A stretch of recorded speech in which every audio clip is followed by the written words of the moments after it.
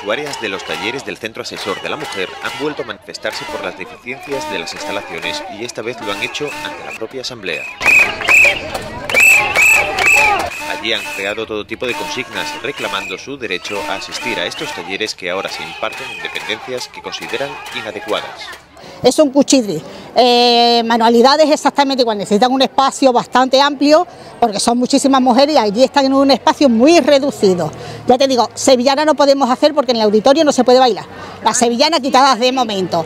Teatro en un pasillito del auditorio. El gimnasio allí.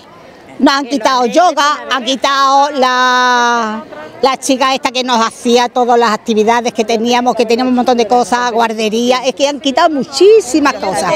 Todos están de acuerdo en que las condiciones no son las más adecuadas y pese al compromiso de la consejera de Asuntos Sociales, Rabea Mohamed, del inicio inmediato de las obras, insisten en que hay que seguir atendiendo a los usuarios en las mejores condiciones.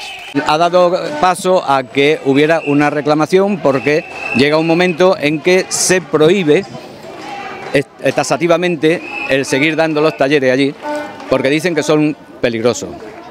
pues si son peligrosos, yo veo correcto que haya que cerrarlo, pero que haya que arreglarlo adecuadamente y sobre todo que se atienda a las personas que, éramos usuarios, aunque sea en otros sitios, pero en, unos sitios que sean, digamos, un poco adecuados.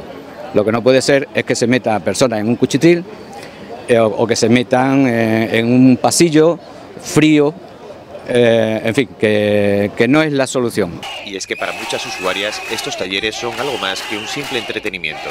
Y yo la verdad que yo me apunté allí por necesidad, porque yo estaba con una depresión muy grande y a mí me vino muy bien de ir al corte, de ir a varios, varios talleres.